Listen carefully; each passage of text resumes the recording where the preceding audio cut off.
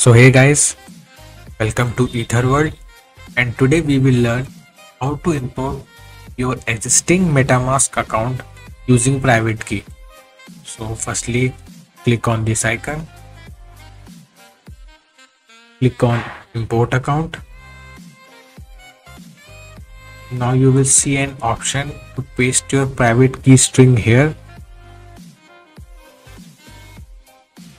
so this is how a private key looks like. Please don't share this with anyone.